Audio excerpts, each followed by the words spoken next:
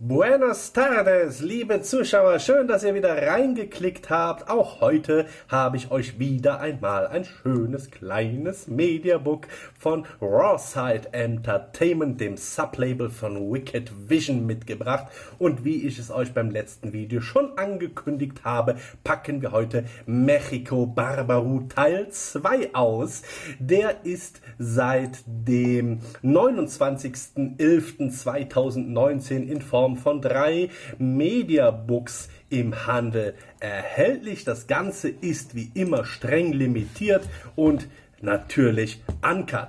So, dann haben wir auch noch eine äh, Standardversion von Donaufilm. Die ist äh, in der Keepcase-Version am gleichen Tag rausgekommen und die ist diesmal ebenfalls ungekürzt.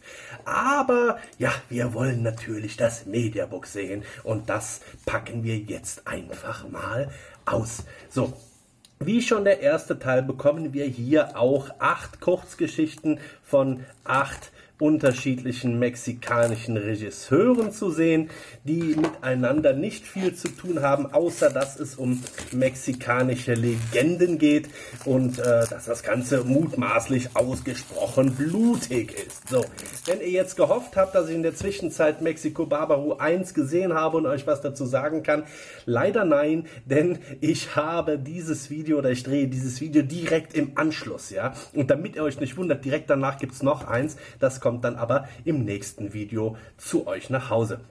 Wir schauen uns jetzt also erst einmal dieses äh, Mediabook an. Dabei handelt es sich um Cover C und das ist auf 222 Exemplare limitiert. Vorne haben wir ja ein paar äh, grauenvolle Bilder und äh, auch die Dame hier hat sicherlich schon bessere Zeiten erlebt. Ich weiß nicht, was mit ihr passiert ist, aber ich werde es bald erfahren, wenn ich den Film in den Player lege.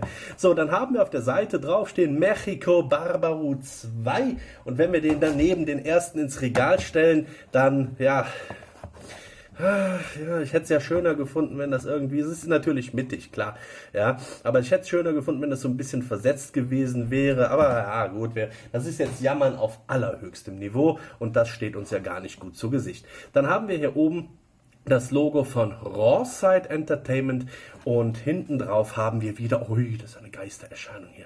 Sehr schön, sehr schön, sehr schön. Also ich bin sehr gespannt, was da auf mich zukommt. Dann haben wir hier ein paar Szenebilder, die sind schon vielversprechend, wenn ich mir angucke, was hier mit den Leuten passiert. Oh, diesmal sind sogar neun Regisseure, die euch das Blut in den Adern gefrieren lassen. Habe ich euch also Mist erzählt? Nein, hier sind also wohl offensichtlich sogar neun Kurzgeschichten. Habt ihr sogar eine mehr.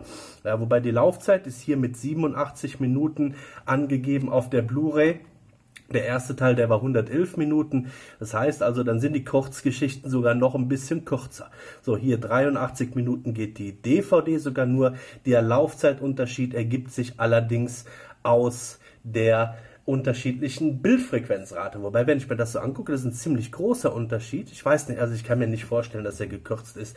Ähm, aber ich werde mir das mal genauer ansehen. So, dann haben wir hier natürlich eine Zusammenfassung und hier die Credits und äh, hier ist dann nochmal der Hinweis, Cover C limitiert auf 222 Stück.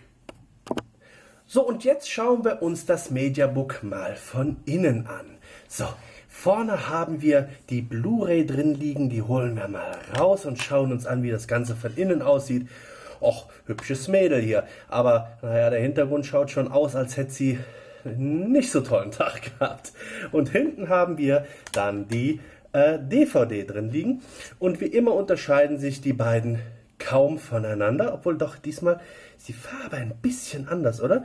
Auch die, äh, die Blutschraffur, heißt das so? Also hier das Blut, das schaut ein bisschen anders aus, wenn es überhaupt Blut ist. Das könnte auch Rost sein. Auf jeden Fall, hier steht Blu-ray, da steht DVD, da steht Donaufilm, unten steht Rawside. Ansonsten kein großer Unterschied.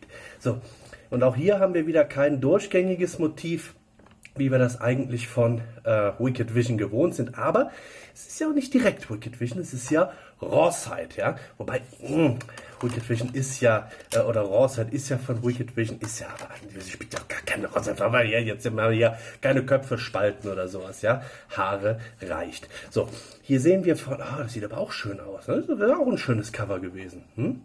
Oder? Also das, ach so, ist ja Cover B. Hier haben wir Cover B. Da haben wir hier also Cover B und hier haben wir Cover C. Es fehlt nur noch irgendwo Cover A und dann haben wir alles hier im äh, Paket mit drin. Wenn man vor Angst aufhört, dreht sich der Fluch in deine Richtung.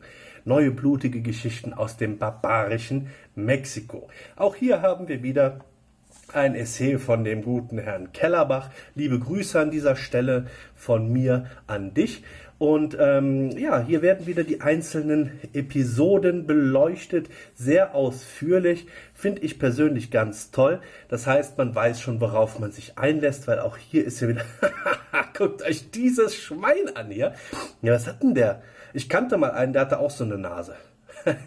da fällt mir die, wenn ich das so sehe, da fällt mir die, ähm, die Twilight Zone Geschichte ein. Äh, Eye of the Beholder. Schön. Oh, hier. Das, der, das könnte doch. Ist das nicht der Typ, äh, der Taika Waititi? Ist er hier? Ja, das könnte auch. Wenn ich mir das so ansehe, das schaut aus wie äh, What We Do in the Shadows. Ja, wer weiß. Also, ich bin auf jeden Fall sehr gespannt was mich hier erwartet. Wir sind auf jeden Fall sehr experimentierfreudig, sonst würden wir uns sowas ja gar nicht anschauen. Aber ich finde das schon toll. Ja, ich finde es generell super, dass solche Filme auch ähm, veröffentlicht werden. Ganz kurz, hier haben wir die drei äh, Heftklammern, die das Ganze an Ort und Stelle halten. Auch hier wieder schön verarbeitet, gibt es nichts zu bemängeln. Ähm, ja, dass solche Filme auch auf den Markt gebracht werden.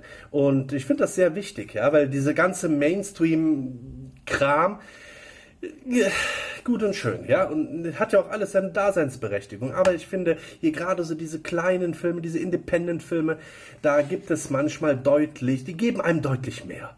Ja, weil die haben, die werden noch mit viel Herzblut gemacht, im wahrsten Sinne des Wortes in dem Fall. Äh, ja, die, die geben sich äh, Mühe. Ja, da, da, man er, erlebt was. Ich meine, wenn ich den nächsten Marvel-Film im Kino gucken gehe, äh, bin ich zwar auch begeistert, aber ich weiß doch eigentlich im Kern schon, was mich erwartet. Ach, und hier ist es. Haha, das hier ist, das hier wäre dann Cover A und jetzt haben wir alle Cover hier drin. Schön. Nee, also wenn ich den nächsten Marvel-Film im Kino gucken gehe, da weiß ich doch, was mich erwartet. Und bei so Independent-Filmen weiß man das eben nicht. Deswegen finde ich es immer wieder schön, solche Titel in den Player zu legen. Die haben das gewisse Etwas. Apropos das gewisse Etwas. So, jetzt hat es geklappt. Das ist auch hier. Fein. Ja, ähm, bis hierhin äh, war es das dann auch. Vielen Dank für die Aufmerksamkeit. Schön, dass ihr bis hierhin durchgehalten habt. Das nächste Mal packe ich euch einen weiteren Raw-Side-Titel aus, diesmal einen aus Deutschland. Und äh, ja, ich hoffe, es hat euch gefallen. Wenn ja, lasst mir ruhig den Daumen da. Ansonsten sehen wir uns beim nächsten Mal. Vielen Dank für die Aufmerksamkeit. Seid schlau, schaut blau und natürlich bleibt geil. Bis zum nächsten Mal, euer Michael Speyer.